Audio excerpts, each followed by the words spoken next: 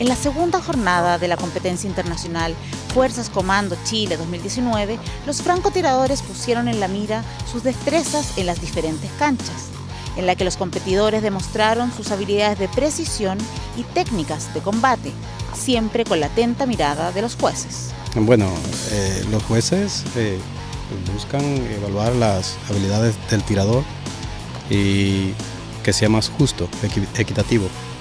En el día de hoy, segundo día, eh, a los francotiradores eh, fueron dos eventos. Uno fue el tiro de campo y este que es el tiro de objetivos en movimiento, en el, en el cual pues toca correr en diferentes distancias y eliminar el blanco que se encuentra en movimiento. Nos preparamos para esta competencia de una forma muy ardua, muy dura.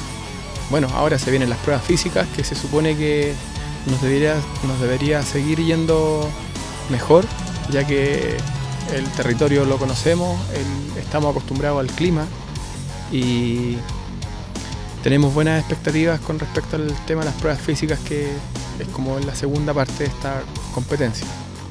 Además de las canchas de francotiradores, también se siguieron realizando las pruebas de tareas críticas, dando así término a un nuevo día de ardua competencia.